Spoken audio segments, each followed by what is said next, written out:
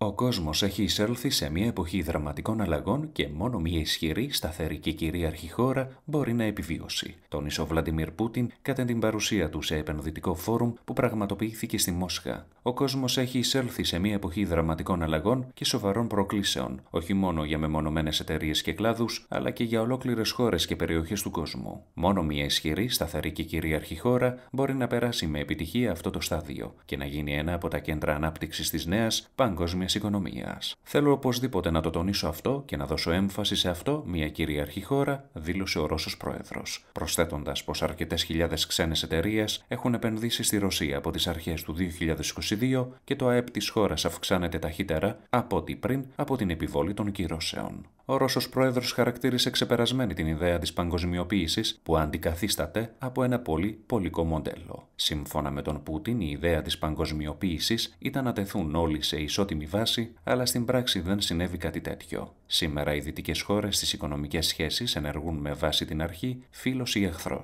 Σε αυτή την περίπτωση, ένας ξένος μπορεί να δει τα περιουσιακά του στοιχεία να μπλοκάρονται, να αφαιρούνται ή να ρευστοποιούνται. Κάτι που επιβεβαιώθηκε από την κατάσταση με τους Nord Streams. Είναι προφανές ότι αυτές οι ενέργειες καταστρέφουν το σύστημα των χρηματοπιστωτικών, εμπορικών και οικονομικών σχέσεων που έχουν οικοδομηθεί επί δεκαετίες από την ίδια την Δύση, συμπλήρωσε ο Πούτιν.